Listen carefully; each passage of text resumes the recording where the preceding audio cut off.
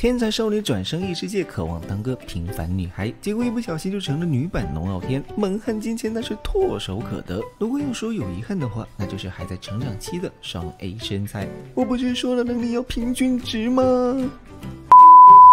女主麦露在一次外出，为了保护一位小妹妹而被异世界穿越大卡车选中，然后她就死了，然后她又活了。只是神不能让她在原来世界复活，所以为了表达歉意，麦露可以给重生后的自己添加一个附加设定。于是她给自己的附加设定便是片名的由来，请把我的能力值设定成异世界的平均值。麦露之所以会有这样的想法，是因为她渴望在异世界交到朋友。在前世里，她因为能力过于出众而被身边的人排挤，只要能力平均，就一定可以交到朋友。一转眼，在异世界的麦露就已经十二岁了。可是王都却突然传出近来有许多小孩失踪的消息，并且麦露发现老板女儿雷尼也突然失踪。善良正义的麦露只身一人外出寻找，结果真的遇到绑架小孩的坏人。阿雷，麦露这个时候才想起自己好像也是小孩。不过有女主光环的麦露自然不会惨遭毒手，因为身后出现了一位帅气的剑士姐姐小汀。她三下五除二的就解决了这些杂鱼混子，并从对方口中逃出了根据地。等到了根据地后，却又结识了同样在伸张正义的女魔法师莲娜。三人进入根据地后，发现孩子全都完好无损，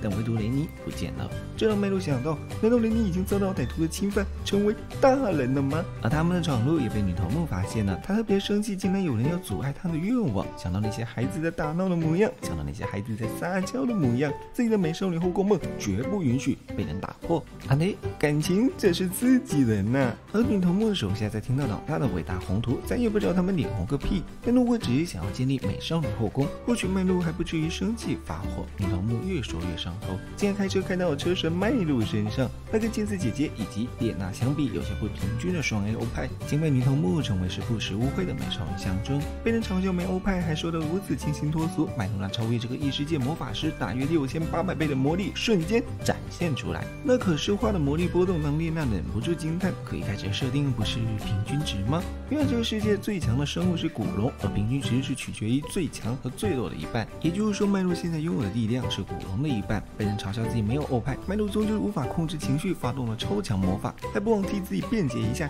自己还在成长期中。本来有些棘手的敌人，一下就被生气的麦露给秒了。想到自己暴露实力，麦露着急的连忙跑掉。可是被人说平路是真的很生气啊！而林尼到底去哪里了呢？他只不过是恼怒晚回来而已。只有很巧的是，之前一起讨伐女头目的技能，竟然是魔法学院的学生。他们不仅跟麦露同校，并且还是同个宿舍的人。除了小婷、列娜，还有一个魔法师柏林。入学考试，麦露真的害怕在别人面前过于出众，而再次交不到朋友。但实在控制不好出手力度，而轻松解决的一个壮汉。之后打算装蒜，而特地学了列娜的火焰魔法。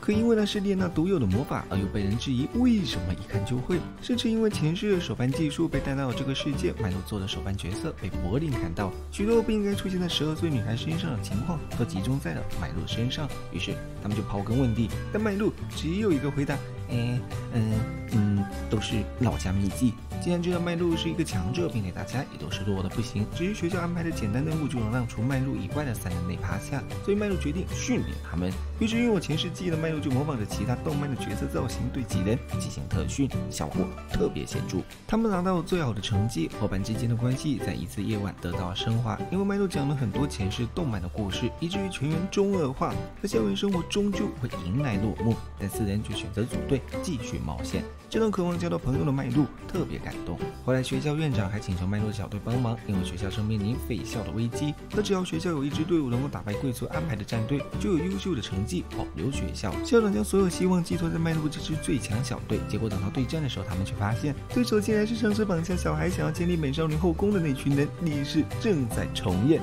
但对手却认为半年时间的他们不会有太大进步。只要小婷展现出超强实力后，麦露对几人的训练结果终于显露出来，特别。是柏林的战斗方式简直辣眼睛，因为他一个魔法师技能想要近身肉搏，这情况迪迦奥特曼表示很熟悉。可当你以为柏林是近战法师时，那就大错特错，因为他的战斗方式竟然是尽情的殴打我吧。被敌人大火球打中后，然后用超大回复让身体状况恢复原状，感情这是近战模式。所以第二场比赛敌人投降，柏林获胜，而你娜遇到的对手则更加离谱。一上来就不心急的使出最强魔法炎热地狱，裁判都被这气场给吓坏了。这魔法可是真的能杀人的。但因为麦洛的特训，列娜现在可不只是一名火属性法师，最近她更加擅长冰属性，轻松抵御对手的魔法，然后也使出了炎热地狱，这让对手瞬间投降。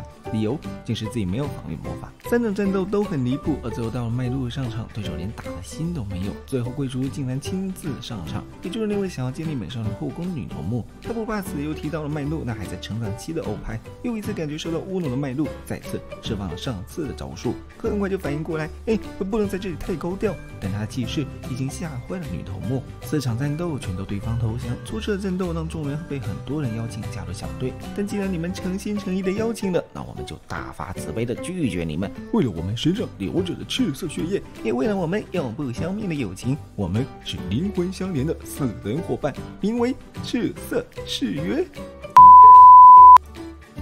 很中二，你知道吗？但却又让人很羡慕这样的关系。可当一位打败了贵族、揭发了罪行、得到众人赏识，就能飞黄腾达几人的猎人冒险，却现实到不行，因为他们的据点竟然只是一家便宜旅馆，甚至麦路还得穿上女仆装做服务员，一切都是为了生活。这让猎人生活是如此危险，他们只是简单的接了一个岩石蜥的任务，结果却发现蜥蜴竟然是巨大型，根本打不过。但好在麦路利用蜥蜴是冷血动物的特性，那两大。魔法法师使出冰系魔法，让蜥蜴进入冬眠状态，再趁机取他首级。抓到蜥蜴去交差，却还要被商人以蜥蜴受伤变成次货压价。但柏林却认为商人说的有理，毕竟蜥蜴受伤了，所以肯定卖不了好价格。哎呀，好可惜，亏我们还抓了那么多只蜥蜴。既然如此，我们就把这些蜥蜴都带走吧。身为商人女儿的柏林老早就知道这些老狐狸的把戏。眼看如此多的岩石蜥蜴，商人坐不住了，但最后这次委托还是作废，商人名誉受到损害。冒险工会为了弥补，买入小队，也用正常价格回收了蜥蜴。显然，这是可喜可贺的事情。但买入群者都十分骇然，他的心中已经有了一个想法，那就绝对绝对不能招惹柏林。太可怕了！但是第一个产生杀人心理的，竟是那看似活泼可爱的莲娜。在一次护送委托的时候，遇到了山贼，由于山贼召唤出了合体岩石巨人变身的过程，瞬间激起了麦路的中二病，以至于被对手机械飞拳正面击中。还有麦路就这样被杀死的莲娜，愤怒极了。麦路倒地的模样让他回忆起过去，都是山贼杀了他的家人。可他愤怒却没有造成实质性的伤害，因为山贼的岩石巨人并不怕高温，眼看几人要束手无策，麦路根本就没有受伤，只是太兴奋了，所以他。放出了冰魔法，利用高温后还未冷却的热度，迅速接触低温就会变得异常脆弱。学好数理化就能走天下，强大无比的岩石巨人就这样被打败了。而聂娜也将自己的过去告诉了队员，可柏林和麦诺却解释哦，这跟聂娜想象中的情况完全不同，应该要像小婷这样哭成狗才对，都给我哭啊！我这从小丧亲的人呐，而麦诺毕竟是死过一次的人，心性比常人强大也很正常。另外，他的神经本来就比较跳跃，可柏林的父亲也在小的时候就被人杀死，因着商会还被人夺走，母亲差点被人当成情人，所以柏林跟母亲从小就想过杀人，那就是杀死这个夺走他们家的恶人。柏林在讲这些过去的时候，全程面带笑容，这让麦露简直害怕的不行。而小丁的家庭就显得比较正常，虽然母亲早逝，但三个哥哥和父亲都格外疼他，可小丁却打小不想被人照顾，想要当骑士，于是才离家出走和麦露他们相遇。几人都说了自己的过去，所以麦露自然也要讲讲他的过去。这让他又有点难办了，因为他的过去不是在开挂，就在开挂的路上。本来是领主之女的他被赶出家里，前世的记忆是到十岁左右才出现。龙傲天的设定也是因为记忆恢复而开始学习，也就是说，迈入学习魔法和成为强者时间才短短几年。但这些肯定不能告诉他们，要问的话，一切都是老家秘籍。在经过这一夜的交流，几人的关系就更加密切。而他们护送的商队也成功到达，并且他见到商队老爷爷的孙女安妮。可是不久后，麦诺他们就听到商队又被袭击的消息，而且还是没有存活的情况。这么说来，老爷估计也遇害了。安妮痛哭的表情让琳娜又想到了过去。果然，山贼这些渣仔还是杀了最好。他在夜晚一人跑出去寻找山贼，可是敌人却有冰系魔法师，丽娜的火焰根本无法造成伤害。眼看山贼也要杀死丽娜时，是麦诺他们赶到救下了她。不过却因此被山贼包围，看到对方训练有素的模样，显然这些人并不是山贼这么简单，而是两国之间的地下战争。不过也只是单纯因为羡慕另一方的繁华贸易而从中捣乱。既然知道了事情的真相，显然敌人更加不能对几个小孩留情了。但事实就是他们想留情也没那个本事啊！丽娜最后按耐住了杀死首领的心，将这些人交给了警卫队处理。过去的事，她终究要放下。还有一个好消息就是，老爷爷其实并没有死。因为他正好去小姐而躲过了一劫。看到爷孙两人相聚的画面，所有人都特别开心，这段时间的压抑也得到了释放。之后的剧情差不多到了众人最期待的福利放送。虽然整部动画没有太多高光时刻，但动画天系列既有逃不过七八集的海边福利时光。由于世界还处于类似前世的古代生活，所以众人对泳衣没有研究。在麦露自己设计出泳衣时，几人还抱怨会不会布少了点。但当众人全都换上衣服的时候，哎妈呀，真香！唯一可惜的就是这段美好的海边时光光，编剧竟然是用幻灯片做的，所以大家期待万分的一集就当场漏气。不得不说，能力值平均就算了，制作组的经费也是相当平均。本来开心的海光时刻，却因为世俗眼光而成了伤风败俗的事情。几人穿泳衣的情况在异世界里根本就像是裸奔。难道这部动画就只有这种福利吗？当然不是。